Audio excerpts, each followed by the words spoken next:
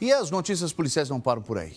Escuta essa. Ao abordar um veículo ontem em Londrina, a polícia deu de cara com um vereador de açaí. Até aí tudo normal, né? Se não fosse por um detalhe. Os policiais procuravam suspeitos de receptação de objetos furtados. Por isso, o parlamentar teve que ir à delegacia para prestar esclarecimentos. O vereador de Açaí, Valdenei Simões, o Cebolinha, foi levado à delegacia junto com outros dois homens, Ivan José da Silva e Eduardo Fulan. O carro em que estavam esse gol branco, que é do vereador, foi interceptado pela Polícia Civil durante a tarde. Eles estariam indo para um local de compra e venda de produtos roubados. Cebolinha disse que emprestou o veículo e, como estava em Londrina, depois pediu carona para voltar a sair.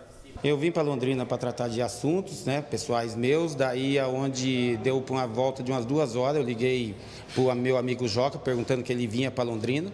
Ele falou que iria vir, mas só que daí ele estava sem carro. Eu falei, então você pega o gol branco, vem, faz o que você tem que fazer e me pega aqui que nós vamos embora.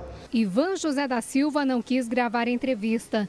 Disse apenas que ia comprar uma TV para revender e que não sabia que era roubada. Eduardo, que é funcionário dele, contou que foi chamado para ir junto. Chamou para vir para Londrina, que eu estava trabalhando no restaurante, falou, vamos lá comigo, vamos, nós pegar o, o, vereador Cebolinha, né?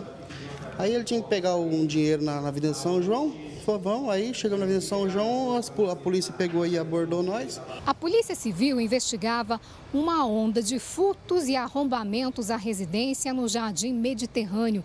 Durante a tarde, lá no bairro, eles encontraram os três rapazes que estariam a caminho de praticar mais um crime.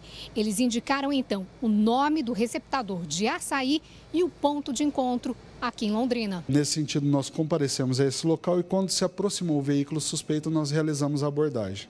O carro usado pelos arrombadores seria esse Megane. Foram presos Giovanni César de Paula, o Pardal, Otávio Augusto Godoy e Rodrigo Rigotti.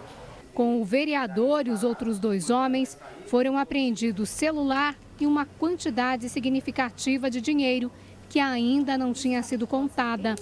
Em Açaí foram apreendidos vários outros objetos.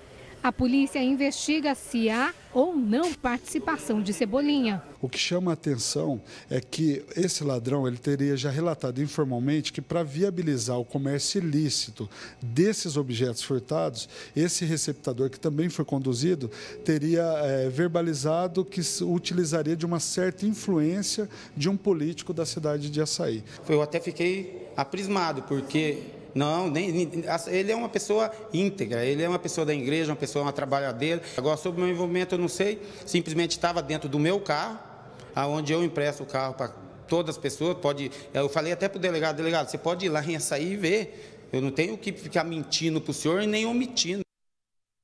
Na pior das hipóteses, cuidado com as companhias, vereador.